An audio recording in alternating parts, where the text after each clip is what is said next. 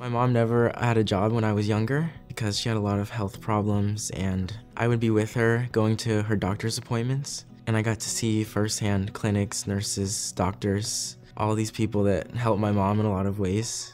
And I think that really had an impact on me and my decision to be a doctor. College was, was like a dream, kind of. I didn't really think about university life that much.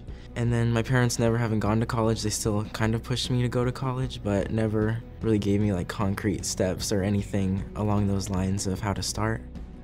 I got involved with CSF my junior year of high school. All of my friends were getting invitations to an achievers meeting or an achievers orientation, and I didn't get one, but I was kind of jealous.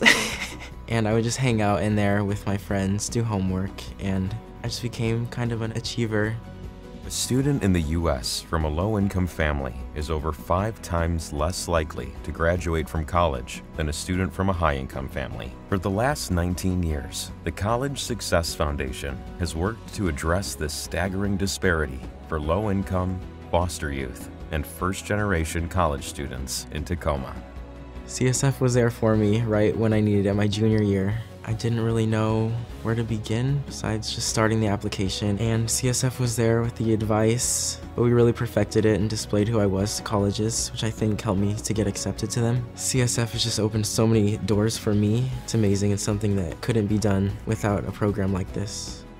As leaders in college access and completion, CSF looks at the whole student in removing financial and social barriers, empowering them to pursue their dreams. This is accomplished through our unique pathway of student-centered resources, including advising, mentoring, and assistance in securing financial support from middle school through college completion.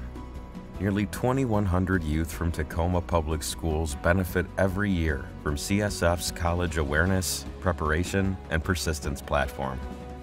I think it's very important that CSF continues to serve students in the future because there are a lot of students out there who really need to go to college. It really is a great decision. It opens up so many more opportunities for students. And having advisors and a group of other students who are going to be on that journey with them is just empowering to know that that could still go on in the future.